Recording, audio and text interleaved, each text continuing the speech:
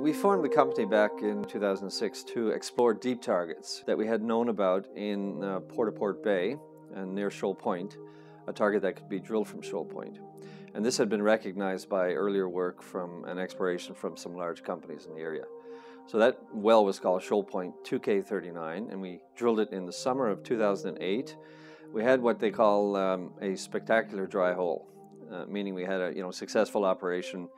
Uh, we hit our target right where we expected from our mapping, but it was uh, had no porosity, no permeability, and no oil in it. So we obviously were disappointed with that. But the important thing was on the way down, we drilled uh, through the Green Point Shale and we recognized the oil and gas shows while we were drilling that. We had known about the Green Point Shale as an important source rock in the area, in the old conventional system of having a petroleum system with source rock, reservoir, etc.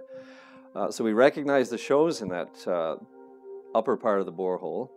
Uh, after we'd finished our operations, so on, went back and with a view to the other uh, developments in the industry at the time with respect to the recognition of gas in shales in uh, the great American basins and so on.